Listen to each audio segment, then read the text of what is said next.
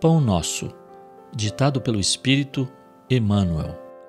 Psicografia de Francisco Cândido Xavier.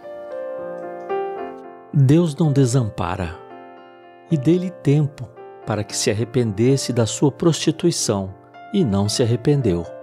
Apocalipse 2, 21.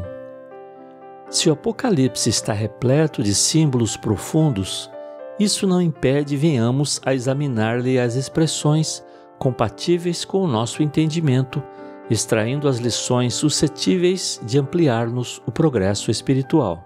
O versículo mencionado proporciona uma ideia da longanimidade do Altíssimo na consideração das falhas e defecções dos filhos transgressores.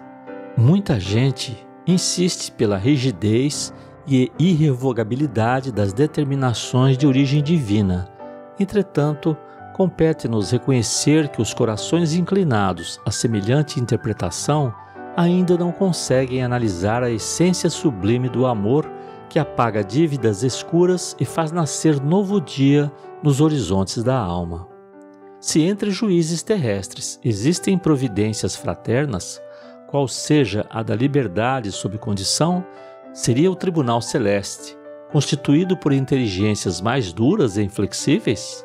A casa do Pai é muito mais generosa que qualquer figuração de magnanimidade apresentada até agora no mundo pelo pensamento religioso. Em seus celeiros abundantes há empréstimos e moratórias, concessões de tempo e recursos que a mais vigorosa imaginação humana jamais calculará.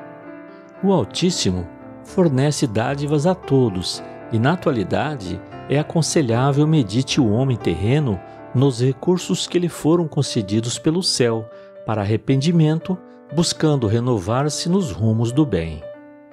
Os prisioneiros da concepção de justiça implacável ignoram os poderosos auxílios do Todo-Poderoso e se manifestam através de mil modos diferentes. Contudo, os que procuram a própria iluminação pelo amor universal sabem que Deus dá sempre e que é necessário aprender a receber. Emmanuel